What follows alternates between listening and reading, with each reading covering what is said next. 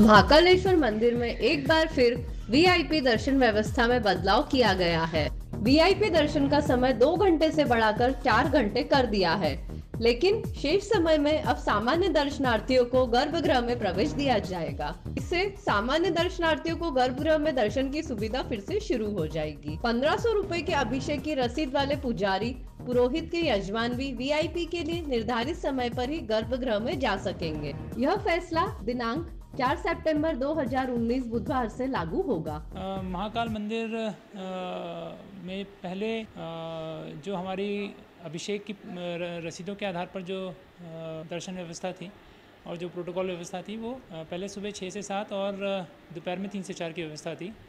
उस व्यवस्था को माननीय प्रभारी मंत्री जी की अध्यक्षता में एक बैठक संपन्न हुई। उसके बाद उसको सुबह दो घंटे का टाइम दिया उसमें रखा गया है। आठ से दस या जो भी आरती का समय रहता है उसको देखते हुए।